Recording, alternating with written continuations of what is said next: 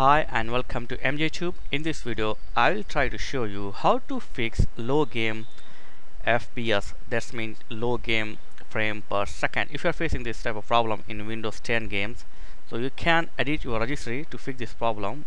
But I suggest you one thing. If uh, you are facing minor problem, then don't edit your registry. If the problem is uh, uh, severe or you don't want to play with the low frame rate then you can do registry setting in your Windows PC so for this be careful here. We are going to edit registry. So be careful. First type in start regedit that's mean registry edit. Right click and click on run as administrator. Okay. So now first we are going to take h key current current user. Okay then go to system here. Okay now just click on game config store.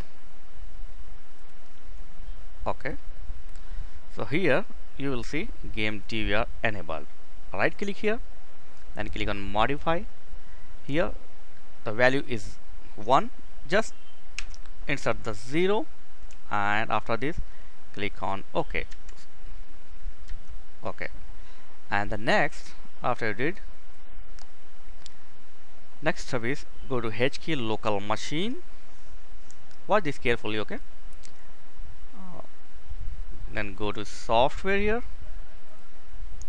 And you need to uh, search the policies. It's a little hard to search the things in registry yeah? Policy here okay policies. Okay then go to Microsoft. And here select the Windows. Don't open the Windows just right click on click on Windows and click on new. Then select the key. Here you need to give the name like game DVR right what I'm writing here? After this okay. Just right click here. Just select this right click click new and click on dword 32 bit value. Okay here the graded now rename this like allow game DVR that's it. And now right click on this modify and here the value will be 0 that's it. And click OK so do this. Hopefully uh, this will fix the problem. If you are facing some graphic setting or graphic problem so go to your uh, setting of your personalization like uh, sorry just wait. Okay zoom so go to your monitor setting and uh, set the resolution which uh, fit your game and play the game in row, uh, row resolution okay my keyboard is stuck. Sorry for that. So that's it. Uh, do this. Hopefully this will work.